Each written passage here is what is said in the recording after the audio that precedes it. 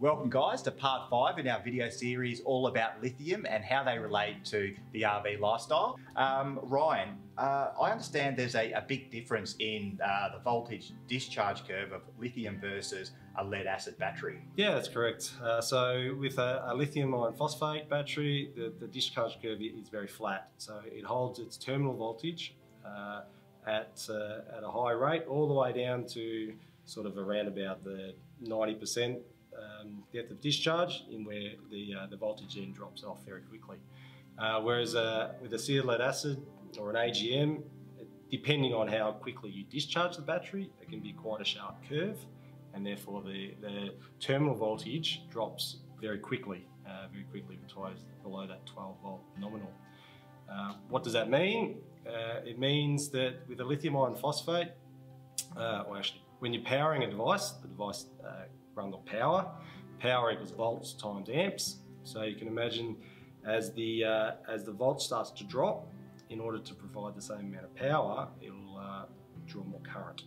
And that then uses the available capacity of the battery a lot higher in an AGM, whereas with lithium iron phosphate, because the voltage uh, doesn't drop off, uh, it, it, uses the available capacity uh, a lot more efficiently than in an AGM. So, um, in practical terms, what does that actually mean? So, in a, in a real world camping scenario? well, in, uh, in, practical terms, it means greater runtime. Mm. Okay, so the uh, because it's holding the voltage down, the, the voltage is actually what you'll notice. Uh, that's what the drop in voltage, sorry, is what slows the device. So, for example, if you're in a, a golf cart, um, for, for want of a better example, the, um, the golf cart will start to slow down as the voltage drops. Okay, with the lithium iron phosphate, the, it won't slow down, it'll hold its voltage and continue to run very well. When it does get to that end, it'll drop very quickly. So for an RVer out there who's mm. trying to charge appliances, keep mm. the fridge going and things like that, those appliances out there that need the voltage to be held up and mm. don't operate at lower voltages, which a lot of the cheaper devices out there won't, mm. you'll find that they'll last for longer. So that's the big benefit to the guys out there camping. So when it comes to low voltage disconnect, is that is there an impact there? I mean, I'd assume the monitoring system inside the battery has LVD. Uh, look, not not uh, not quite. So the um, monitoring device within the battery, and we, we they're, they're called different things. Um, generally, they're, they're, it's a BMS or a battery monitoring system. Uh, the other more correct term is probably PCM, which is protection circuit monitoring. But essentially, as I stated uh, in a couple of the other um, videos that we spoke about, it's there for, for safety. So it's there to protect the cells from uh, abuse and from certain conditions. So you so, shouldn't be relying upon that as your low voltage disconnect, correct, Yeah, correct. So it, it, will disconnect and it will open circuit uh, at a certain voltage. In these ones, it's 10 volts. It'll disconnect. Um, however, that shouldn't be used as your low voltage disconnect. Yeah.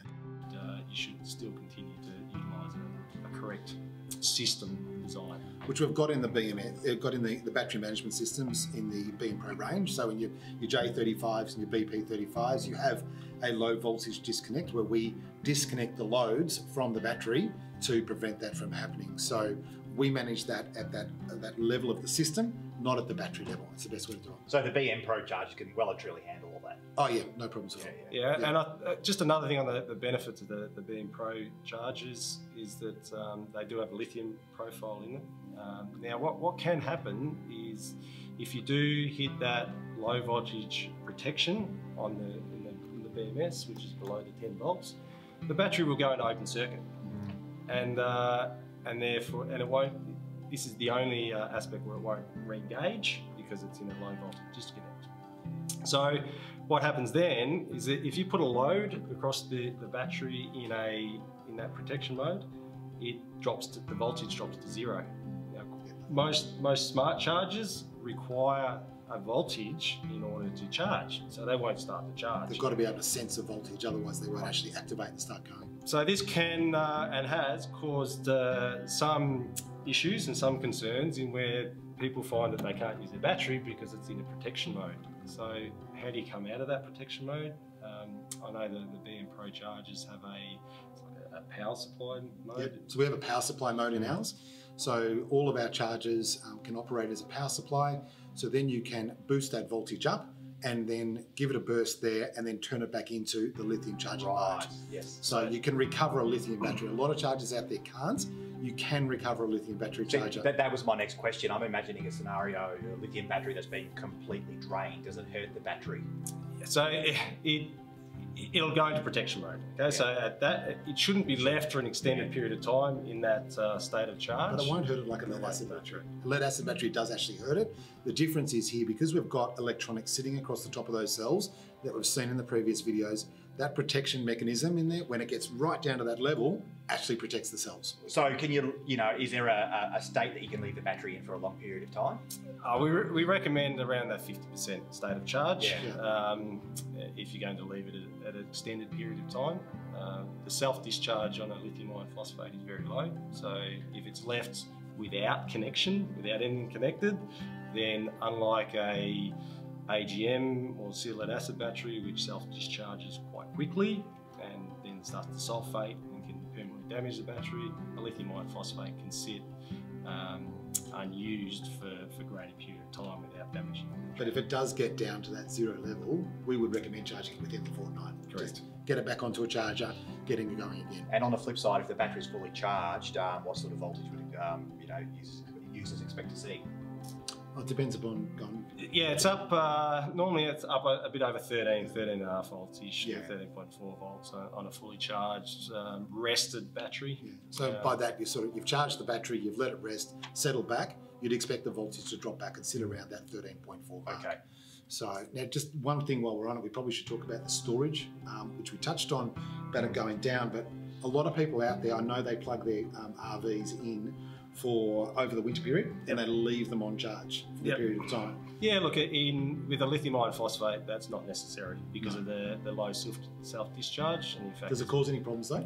It doesn't, no, not, not necessarily. It doesn't cause uh, too many issues as long as you've got the right voltage setting, which um, uh, which is part of the reason why we recommend a, a, lithium profile, which is the, the BM Pro chargers do.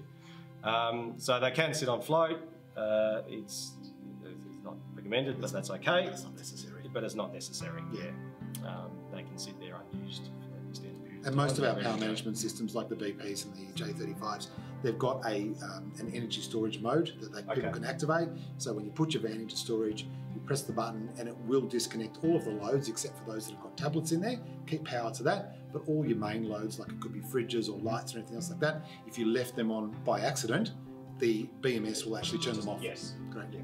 So, guys, for those that don't know, what is OCV or open circuit voltage? Yeah, look, open circuit voltage is the, I guess it's the potential between the cathode and the anode. So this battery that we've got sitting in front of us here at the moment has got no charging on it, no load on it. It's been well rested. So if you were to put a multimeter across the positive and the negative now, that is what will be shown as what is called OCV, your open circuit voltage. Yeah, and just just a point on the open circuit voltage and uh, giving an indication of your state of charge. um, there's a big difference between your seal lead acid AGM open circuit voltage and your lithium iron phosphate due to that flat discharge curve. So with a, an AGM, uh, you can uh, approximate uh, fairly accurately to some degree the state of charge of your AGM battery just by taking a, a measurement of your open circuit voltage, okay, because of that, that curve. It can, tell you where you are on the curve. Whereas because it's a very flat discharge curve on the lithium iron phosphate, you don't know where you are in the state of charge um, on that discharge curve. So you could, the difference between 100% and, and 30% is very minimal um, in terms of the voltage measurement you take across the open circuit voltage, which again is why we uh, why we work with BM Pro, who have um, devices available which do actually measure the amount of current in, the amount of current out. So that's why at BM Pro we've been saying for a long time with lead acid batteries that voltage is only an indication of the actual capacity inside a battery. It's just one of the indicators in there. With lithium batteries, you actually have to be even more aware of it. Most of our vans have got systems inside which have got a display on the wall, which will give you a state of charge and it'll give you the voltage as well. So you've got to manage those two things when you when you're working with a lithium battery, you can't just be looking at the volts because the volts will drop off even faster than a lithium battery because we've had so much extra runtime in it, but it'll drop off even faster. So for RVers out there, make sure that they're looking at the state of charge on their display or on their tablet or on their phone, not just the voltage. Thanks, guys. That was really fascinating. And make sure you tune in next month because we're going to be talking about lithium batteries, wiring parallel and in series.